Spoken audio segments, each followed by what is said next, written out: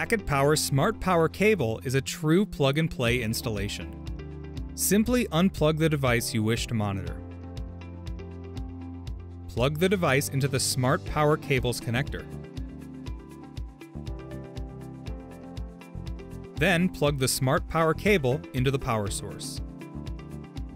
The LED display will show some startup information and then shortly display readings for volts, amps, and power. The Smart Power cable will automatically join the wireless mesh network, and monitoring data will begin to flow to the Ethernet gateway. No configuration required. Use the 16 digit number on the label of the Smart Power cable to determine which readings are from this cable. Packet Power Smart Power cables make monitoring easy.